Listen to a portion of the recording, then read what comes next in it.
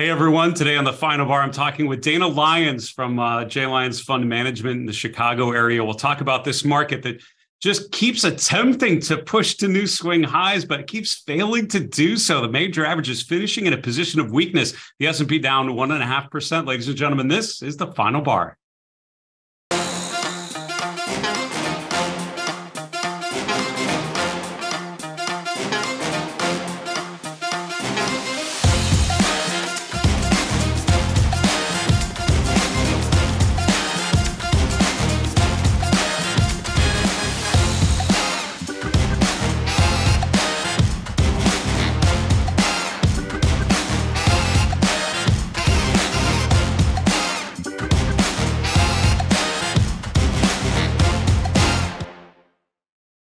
Hey guys, welcome to the final bar. I'm your host, Dave Keller. I'm the chief market strategist here at stockcharts.com in a rainy Redmond, Washington. Thanks for joining us every weekday after the close as we break down the activity in the markets using the power of stock charts. The stock charts platform was created to help you make sense of these markets using the best practices of technical analysis.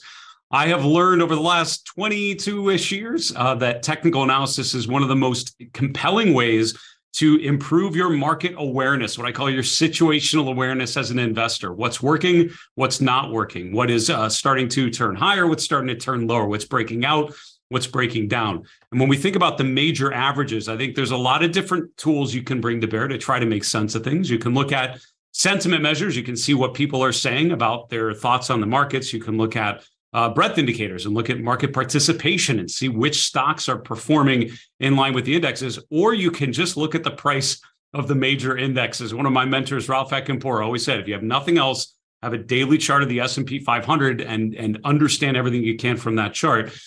I'm seeing an S&P that is attempting numbers of times to get above 4,000, failing so far every time to do so today really uh, once again being repelled, trying to get above that trend line from the 2022 highs.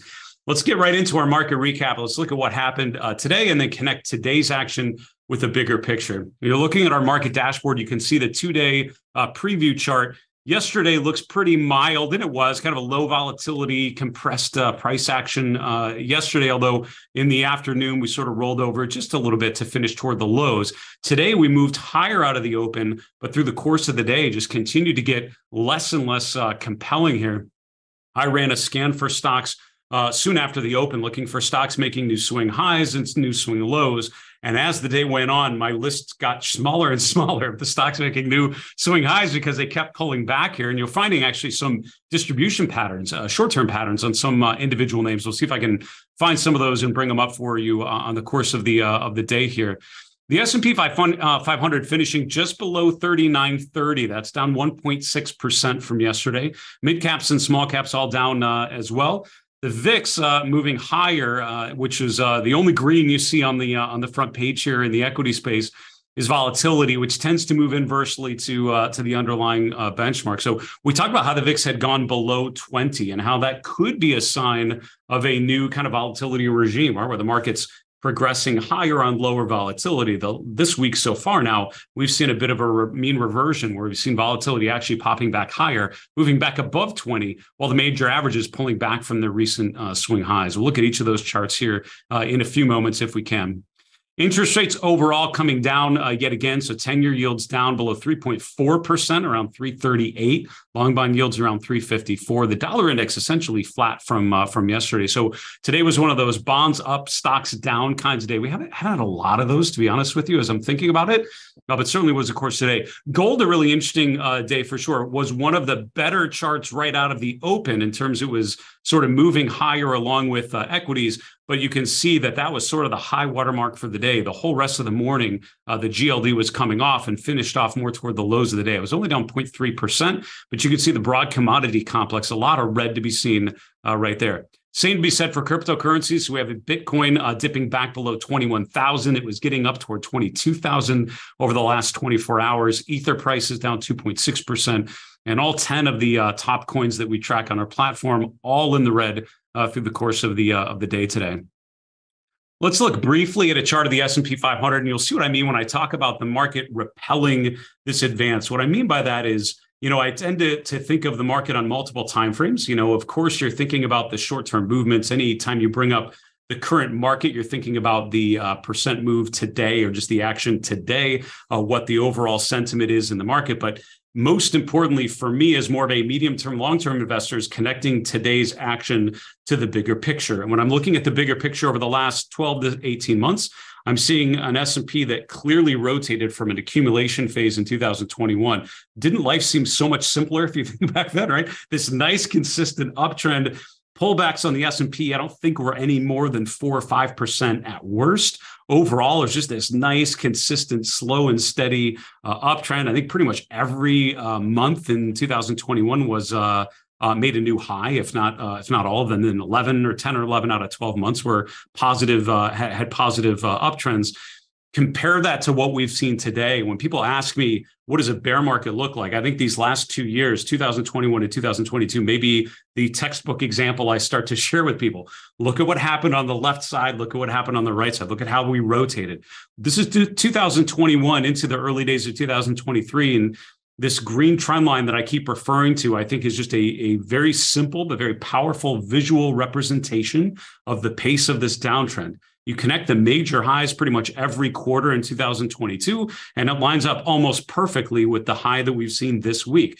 This is a represent. Now, is that magic? Is that some mythical formula? I, I don't know about that. What I would tell you is the market tends to trend. We know that from John Murphy and Edwards and Magee and Gann and and uh, uh, Charles Dow and all of those talked about trends and talked about how you quantify them. But trendline analysis, which really Edwards and Magee really popularized, thinking about patterns and trends, and how to uh, how to annotate them, how to represent them. A trend line like this, where the market just continues to test it, just shows you that the market is moving at a particular pace because we're on a log scale. This is basically a consistent downtrend on percentage terms. And anytime the market rallies, it's basically hitting the upper end of this downtrend channel, and it tells you that the downtrend is still in place. And the general, most simple way to use uh, a chart like this is to wait to see when the trend line is broken. And you can do a lot of crazy stuff underneath the trend line, but until you break above it, that downtrend is still in force. And, and by definition, as long as we remain below that, the slope of the market is still uh, still lower, regardless of what kind of rallies we have underneath that trend line. You could say the same thing uh, in a lot of ways about the 200 day moving average. Uh, one of my mentors, and I've forgotten who said nothing good happens below the 200 day. And that was his way of just saying, don't get too cute, don't get too excited. When stocks are in a downtrend and then they break above the 200 day moving average, that's when it tells you something is different, right? Something is changing, what we call a change of character. So have we seen that on chart of the S&P 500 uh, yet? I don't think so, right? We've broken above the 200 day yet again. We're now trading back below it as we have a number of times in the last uh, 12 months. We are now trading up to that trend line, which is currently right around 4,000. We're back below it. Uh, and so, overall, until those lines are broken, until we get enough buying power to push us above and overwhelm the selling pressure that builds when we get to these levels, I would argue by definition the trend is still uh, is still downward. What's so interesting about this market is if you think about the breadth conditions, they're not bad. They're actually pretty decent, I would say, right? And what breadth is doing, of course, is looking not just at the price action weighted to the mega cap stocks, which is what the S&P and most of our major benchmarks are doing. This is more an equal weighted measure of participation. Stocks overall, on average, are going up or going down. All four of the advanced decline lines for the New for the uh, uh, cap tiers that we track the New York Stock Exchange, large cap, mid caps, small caps, all four of those have broken above their December highs. If we look at uh, the percent of stocks above their 50 day, it's currently around 60%. The percent of stock, sorry, above their 200 day, currently at 60%. Above their 50 day, same number, about 60%. So four, six out of 10 uh, stocks in both uh, buckets or in, in each bucket above those key moving averages. So more than half of the members of the index above their uh, moving averages, I see that as a positive. So what does that mean, right? A bear market shows failed breakout. Stocks that should break out fail to do so. You don't have that follow through. And that's the question mark I would have for this market, really going through the remainder of this week and into next week. Do these breadth indicators get below 50%? To me, that would be a big red flag suggesting that the bullish movement you've seen in a, the average stock, which has allowed the benchmarks to go as high as they have, would now be starting to deteriorate. So we haven't seen that yet, but that is an important uh, level. And you can see that in uh, mid December, when we pulled back, we remain pretty much above 50%. So that, that's an important level to watch uh, if we would push back to the downside. Just to finish off our market recap, looking at the uh, at the 11 sector ETFs, you can see all 11 of them in the red, and it goes from kind of bad communication services, technology, consumer discretionary. So the FANG sectors actually did the best today, although they're still all down about one and a quarter percent, down to the uh, biggest leaders to the downside: consumer staples, utilities, and financial. Staples are interesting, and I was actually looking at some of these stocks um, for my premium members at Market Misbehavior earlier today, I was writing a note looking for stocks making new swing highs and new swing lows. We spent a little bit of time on these consumer staple stocks. You can see like General Mills. Is it completely broken? Of course not, right? We're still, you know, not making a three-month low or anything. We broke below the 50-day moving average. That's not great. Um, we're making a new swing low. We're getting below 82. That's not great either. Is it the worst chart I've ever seen? Absolutely not. I could show you many other stocks that look a lot worse than this, but stocks that had been leadership, stocks that have been performing very, very well, where something's changing, that's what uh, rings a bell for me. So when I'm looking at uh, General Mills and I'm looking at Kraft Heinz and seeing these big drawdowns, um, are they breaking key support levels? Maybe, maybe not. Does it tell me that something is different that I need to be aware of? Certainly. And so I think as always, today is a great reminder to keep your stops updated, to keep your money management strategy up to date, and always be thinking at what level, what line in the sand would need to be triggered for you to change your perspective on a particular position. Let's take a quick commercial break. We'll be back with today's guest, Dana Lyons. We'll see you in a minute.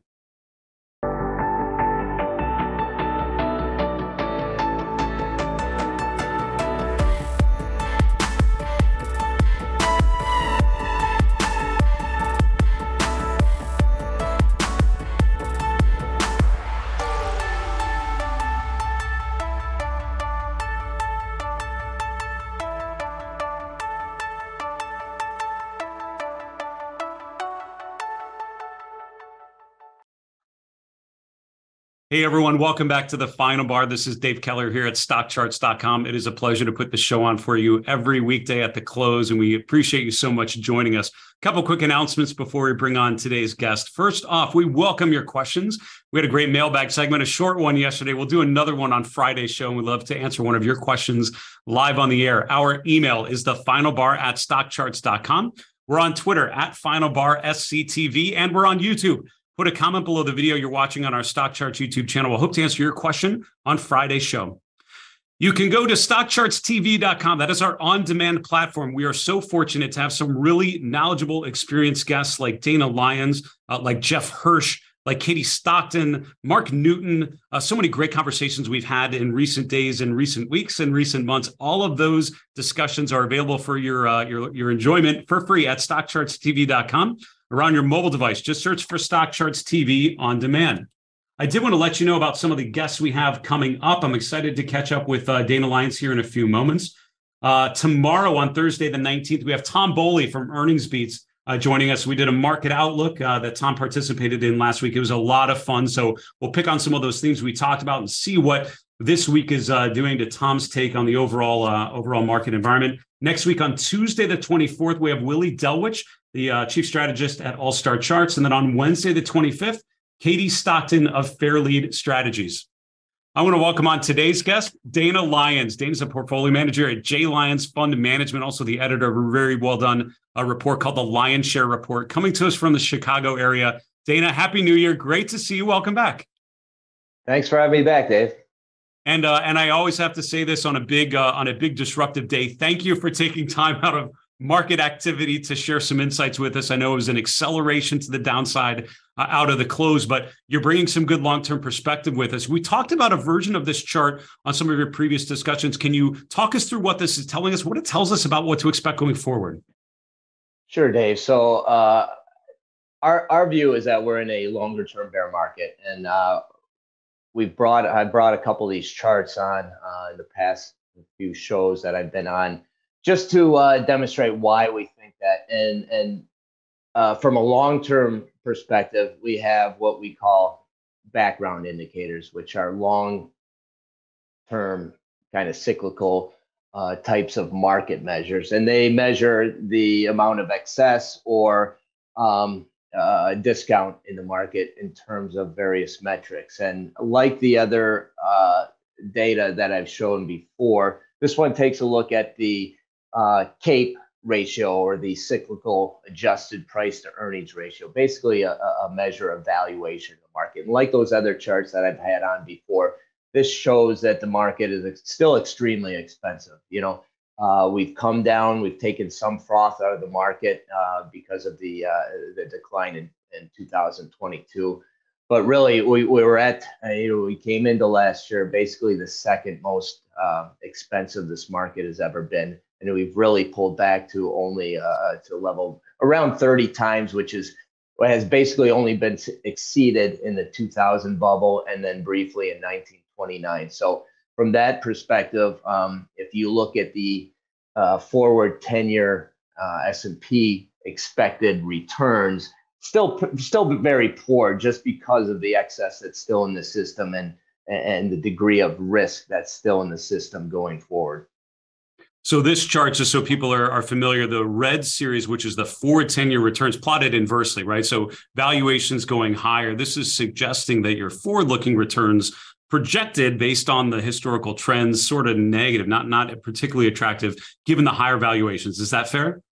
Correct, correct. There's still, like I said, despite the froth that was removed from the system, you know, in 2022, we're still very extended on a historical basis. And from that perspective, uh, 10-year returns in the S&P historically have been uh, very muted.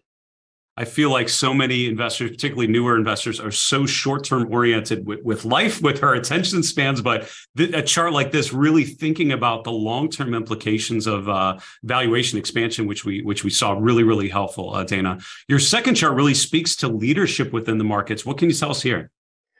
Sure. So even within a longer term bear market, there will be places where, um, at least during those intermediate to cyclical up moves within a long term bear market, there will be places where you can take uh, take advantage. There'll be pockets of opportunity, and we think one of those pockets emerging is value, especially relative to growth. So you can see at the end of the chart, value as a as uh, relative to growth has been gaining steam over the last couple of years since. Uh, basically since the COVID uh, move. So uh, looking at past, we've only seen, at least in the last couple decades, we've only seen one similar type move, and that was uh, that, that began in 2000 and lasted for about six years. Now, obviously, the first, you know, third of that or half of that, um, a lot of that outperformance came on the back of growth, which was just getting decimated, which mm. is similar to what we're seeing right now. So if growth continues on a downward path,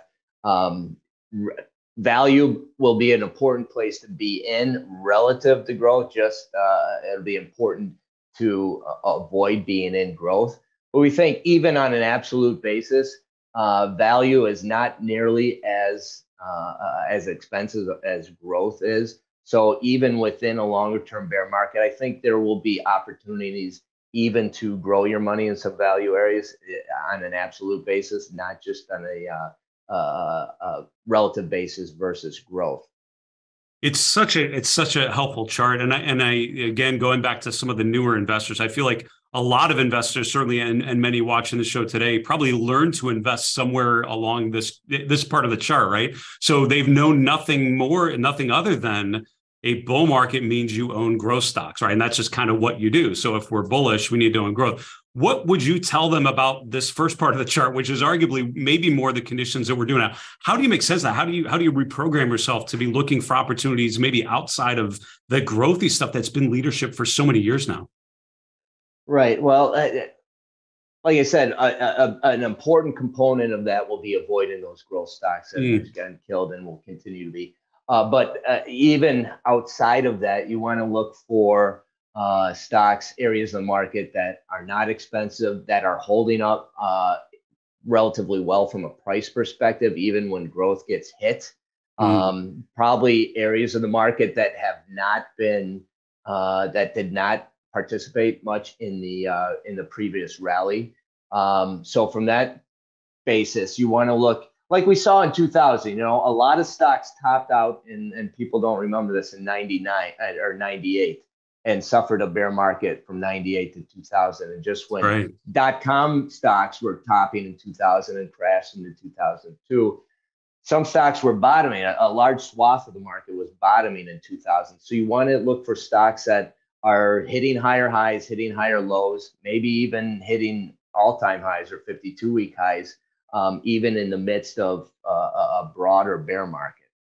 Very, very helpful, and and thanks so much for that. Your your final chart here, uh, Dana, is looking at an area of the market that's actually shown some good strength. Your mid cap value. Can you talk us through this one?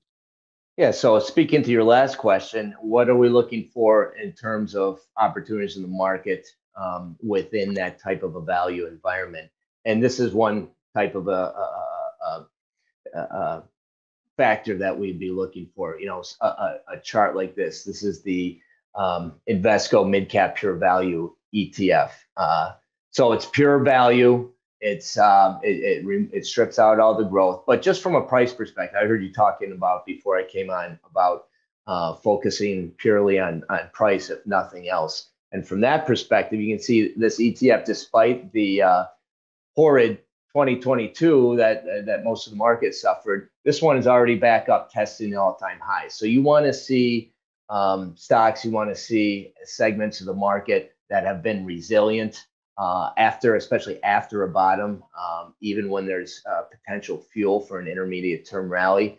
Uh, you don't mm-hmm. want something, you know, uh, beaten down like like growth, like tech, like Nasdaq, that'll have that mean reversion pop off of the bottom, but will run out of gas quickly. So something like this uh, RFV, the mid cap pure value, we're already testing, you know, all-time highs and we've been going sideways basically for two years so if the market does have an intermediate rally in it this thing if it if it breaks out it's still got plenty of fuel to put in a meaningful rally and by by that i mean higher highs and higher lows not you know a mean reversion rally to another lower high like i think we'll continue to see in the growth and the tech and the nasdaq area of the market Mm, it's it's such a great uh, such a great chart. Thanks for talking through that, and, and a great uh, great great uh, call pointing out just the strength that you see in some areas of the of the market here.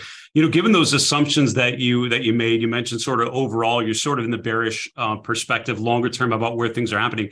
How do you position yourself in this sort of environment, given the uncertainty of what what that means? Are there areas of the market where you're seeing strength? Is it something like energy, which had been a leadership group kind of near uh, highs, or uh, something that's just starting to emerge? Give, can you give an example of where you where you're seeing opportunities here now? Yeah, sure. So we have models uh, that are all quantitative in nature, but we look for relative strength. You know, we're not mm-hmm. of the belief that we want to diversify across the gamut because you'll have some of the areas of market like growth that are getting hit and canceling out any gains you might have, you know, in defensive names or value names. So we want to look for uh, relative strength and concentrate our portfolio in those areas. And, and by relative strength, we mean something that's going to continue to outperform for several months to even several years. And so we had the inputs into our models are longer term in nature. They're not just, you know, okay, this uh, growth stock or um, this Nasdaq stock has, has, has, has really exploded off the lows this year. You know, it, it takes a lot more than that. And, and it's something, uh, one big component for us is a risk adjusted return as well. So we want to see mm-hmm. something that's performing, um, outperforming versus its risk characteristics as well. So it's outperforming what it's expected to do. And right now, a lot of those um, a, a, lot of the names on our screens would be from the value areas, you know, and, yeah. and, and you mentioned the energy area that has really emerged over the last year. It's, uh, it's hit a couple, uh, a couple months of uh, a rough patch, but I think that was kind of a short-term rotation, but some of those names are still on our screens, but a lot of the value names, um, a lot of the names, if you look at like you showed that one month uh, or the one year chart of the S&P, if you look at a one year chart and you see higher highs and higher lows, that's the type of thing that you want to see. You don't. We're not looking for a flash in the pan pop off of a uh, 52 week low. That's probably just going to be uh, another mean reversion bounce to a lower high. We want to see areas of the market that are, uh, you know, hitting higher highs, higher lows, and um, uh, a lot of those names, like I mentioned, are, are similar to the, the value names that, um, mm. that we just showed. That's super helpful, Dana, and it's and it's I, it's such a fascinating part of 2022. While the major benchmarks just in these downtrends there were pl- there were names there. I feel like at any given point there were stocks that were actually showing that type of pattern, right? Showing some strength and uh, and and and consistent strength. So good reminder to focus. I, I always tell people that it's always a good time to own good charts. And thanks for reinforcing that with your comments, Dana. Listen, it's awesome to see you. Thanks for coming on the show again. We'll hope to have you again on uh, soon. Say hi to the Midwest for us, and we'll talk to you again soon. Will do. Thanks, Dave. Always great to be on. That's Dana Lyons. Dana's a uh, portfolio manager at J Lyons Fund Management, coming to us from Chicago. Also, the editor of the Lyons Share Report. I love that first chart. We we've talked about that when he when he uh, uh, versions of that chart when he's come on uh, before. Thinking about forward ten year returns and just the fact that someone like Dana approaching this market, we get so caught up in what I call the flickering ticks, right? The short term movements.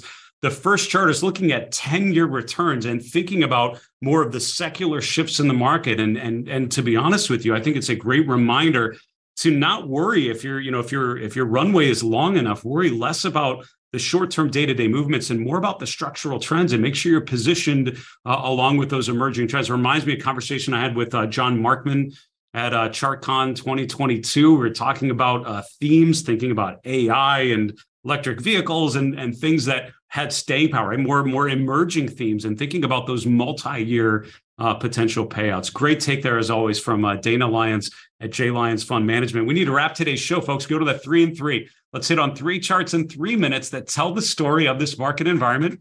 Here's chart number one. I loved uh, Dana's chart about mid cap value, and I think about those Morningstar style boxes a lot, right? Sort of the you know large, mid, small, growth, core, and value. And I often look at those nine to see what sort of movements are happening relative to one another.